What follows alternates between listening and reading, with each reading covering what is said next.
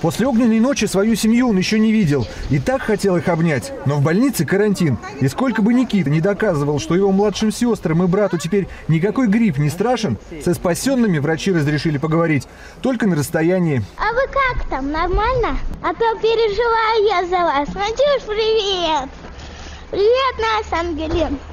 Шестилетняя Ангелина, трехлетняя Настя и самый младший Матвей после чудовищного пожара в больницу попали только с легкой простудой. Хотя любое неверное действие Никиты в ту ночь могло обернуться непоправимой трагедией. Потушить горящий дом второклассник попытался самостоятельно, но быстро понял, что силы не равны. А правда ты черпаком вот пытался тушить сам? Да. Хотел шланг, а шланг я не нашел. Я бы шлангом бы все потушил. Никите пришлось дважды пробираться через открытое пламя. Сначала, чтобы попасть в дом, а потом, чтобы вывести детей. Как уже установили пожарные, загорелся газовый котел. А мамы в этот момент дома не оказалось. Она пошла проводить подругу. На правах старшего мужчины в семье второклассник действовал молниеносно. Крыша уже горела и могла обрушиться в любой момент. Но восьмилетний мальчишка не замешкался и в первую очередь отключил газ, иначе все бы здесь взлетело на воздух. И где-то здесь, в кромешной темноте и в дыму, он и разыскал своих младших сестер, а в этой кроватке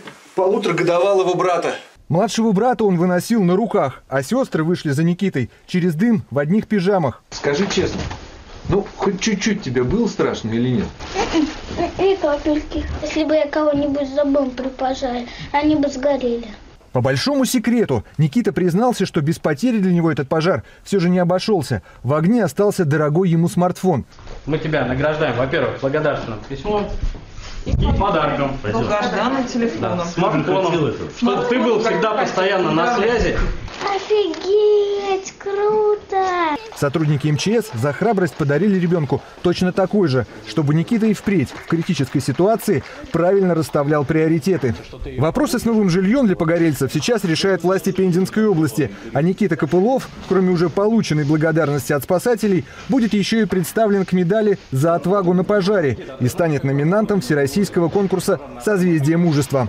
Андрей Шамин, Александр Стефанюк и Евгений Анисимов, НТВ, Пензенская область.